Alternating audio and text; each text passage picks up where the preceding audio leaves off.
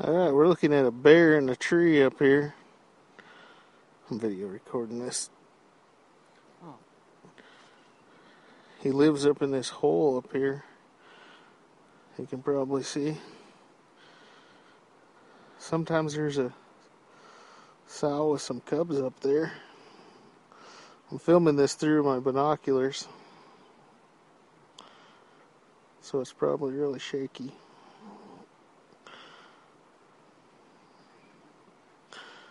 Looks like the old. Looks like he's taking a break before he climbs the rest of the way up to the hole or something.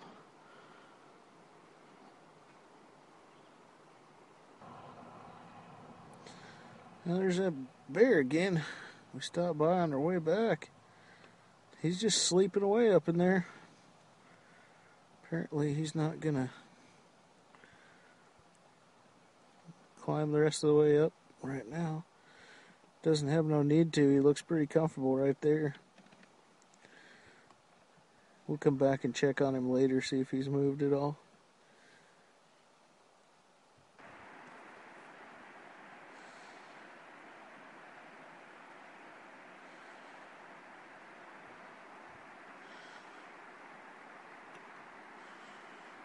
Here's some more mountains.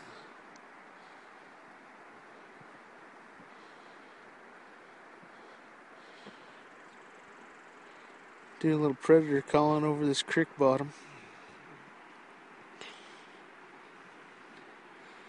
See if we can turn something up.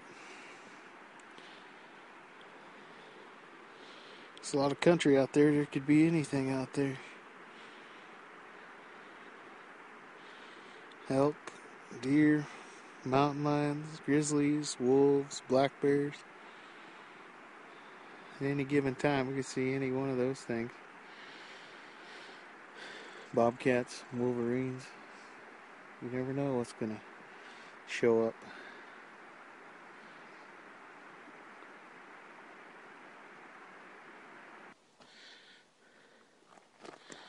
Hey, it's Birchbark Johnny here again. Just out harvesting some rails today. You can see I got a whole mess of them laying on the side of the road here.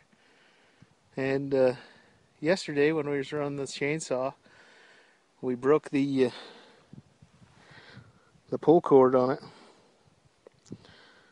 And so I didn't have any extra pull cord with me. So let me show you what I did. I pulled it off. I don't know if you guys can see that.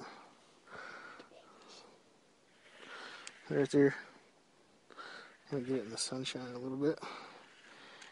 You see that? That's 550 paracord right there. So uh, I always keep some on me but uh, I was able to get this saw up and going again. I know it's just a little Barbie doll saw. It's not a no big thing, but that's all I use for doing light duty log work like I do.